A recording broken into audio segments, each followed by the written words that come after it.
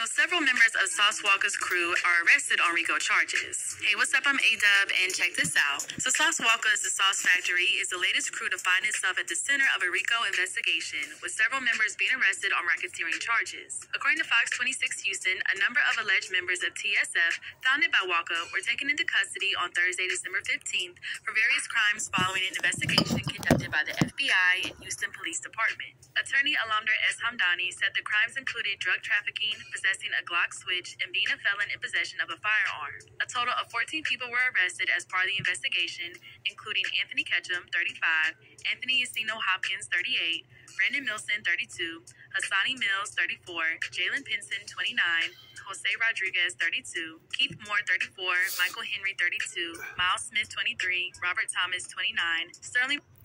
Damn, HussleinBud 2.0. Y'all already know what's going on, man. Hey, back on another video, bro. And the got the boy sauce, man. Crazy. Y'all don't see the, the patterns. What's been going on for a little, you know, you ain't catching the little drift now, what they really got going on. Little, little light, little martial art going on real quick. But hey, shout out to Positivity Gang, Hustling Squad, Hustling Universe. You know, stand up on that, bro. You know, back to back, back to back videos. I appreciate y'all. Hey, much love. Thank y'all for them comments. Hey, I'm about to start shouting out these comments, man. It be it be people in the comment boards really got you know y'all really be showing love, man. Y'all really be engaging with the videos, and I appreciate that. Appreciate that. So hey, y'all make yeah, I'm gonna stand on that. Y'all make me stand on that. Sometimes they be forgetting. I be wanting to write the. I'm, I'm gonna start doing. I'm just gonna be start writing. You know, just writing some of some of y'all uh, pages and uh, channels, and I'm just gonna start writing y'all names down and just shout y'all out. You feel me? The best way I can. Cause I don't. I do want to give appreciation to y'all, man. Big appreciation.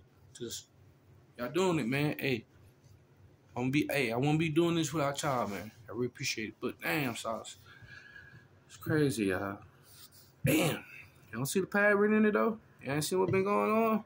A lot of Ricos been been handing out. Lately. 26, Titus Basie 35, and Tori White 27, and Julian Herrera 26. We begin with more than a dozen men behind bars facing federal charges as part of a joint operation to crack down on violent offenders in the Houston area. Thank you for joining us. I'm Keith Garvin. And I'm Daniela Guzman. And KPRC2's Bryce Newberry is live at the downtown federal courthouse with some new details about this big bust. Bryce?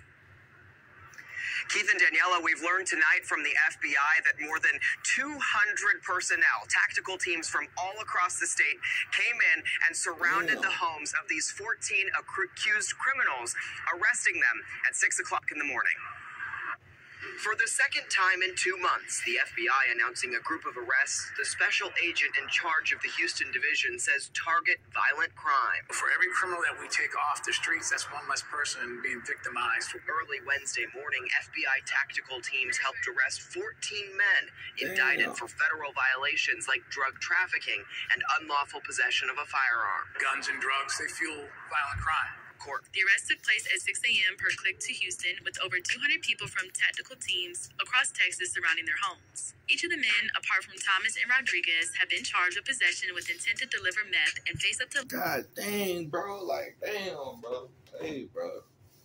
And that sauce, man. You know, man, we really fuck with the Sauce Twins, but I'm just saying, I, I fuck with dude music. You know what I'm saying?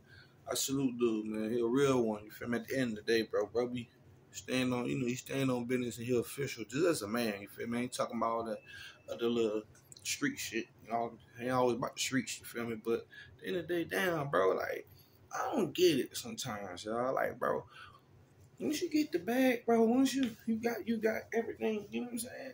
I don't get it. Ain't that the whole um purpose of making it? Ain't that the whole purpose of making it?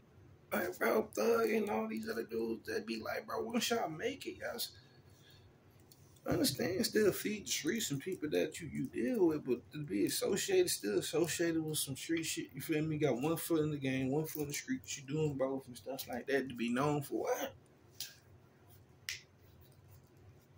I mean, you know, you know, pick the product of their environment, but damn, look how many people done got arrested too, but just like, some shit just stupid, bro. Like, once you a millionaire, give back to the hood to make more millionaires.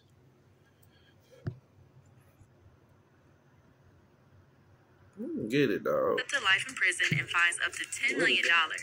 Moore faces an added charge of possession with intent to deliver heroin, which carries a maximum of 40 years in prison.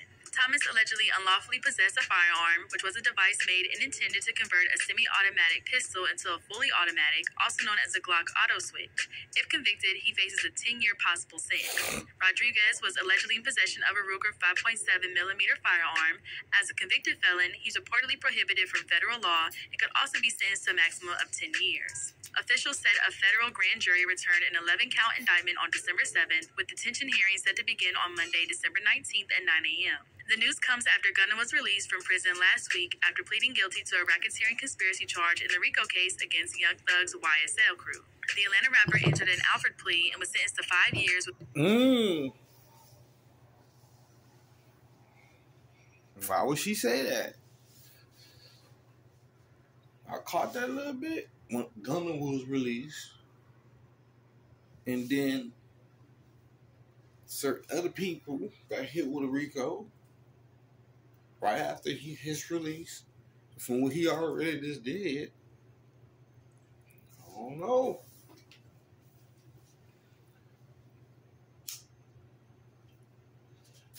I was telling Gunna, hey man, we need more than this, pressing them and stuff. Hey, them police officers and detectives, they be pressing niggas, bro. For real, they be making niggas all like they scaring a lot. They they'll scare you. If you if you easily be scared and you and you like materially like you ain't standing on that, you ain't really that solid, bro. They were scared of. Hey, hey, listen, we just don't need stuff good. We want to know other stuff with other people. You never know. Understand? I'm telling telling. You you you if you were telling yourself and telling other people to maneuver and you know it's, they call it what it is. If you telling somebody and you get out, you feel what I'm saying? Who's to say you want to do that to other people? And you can't be wrong if you, you get associated with that. years with one served in prison and is set to serve the rest in the form of 500 hours of community service. But let us know your thoughts in the comment section below. Make sure to hit that subscribe button and notification bell to stay up to date on all of our new videos. And as always, make sure to keep it all the way locked to PopDX.com. Hustle Bud 2.0, man. Y'all go check out the Homegirl channel, man. She doing good content, man. Y'all go see what this full video at DX. Oh, I think yeah, DX been out. She, you know, she did good commentary, you know what I'm saying? Some good work. So y'all go shout out. Y'all go, you know, fuck with DX too, man. I just want to show the love, man. Show the support from every level. No matter who ain't doing it for me, I'm gonna be me, man. Hey, keep God first, you understand? Take care of yourself and those around you. You understand me? This shit crazy about sauce, bro. It's crazy. And ironically, it happens when Gunna get out. Ironically. You know what I mean? Say that word wrong, but very I don't know. They might be wrong. I might I may be wrong, she may be wrong, but it's that's that's kinda weird. Kinda weird. Y'all let me know in the comment section, man. Keep a positive mental attitude. You do what I'm saying? Just want to bring y'all back to back videos. That's what we doing. Back to back videos, man. Hey, free sauce though, for real, bro.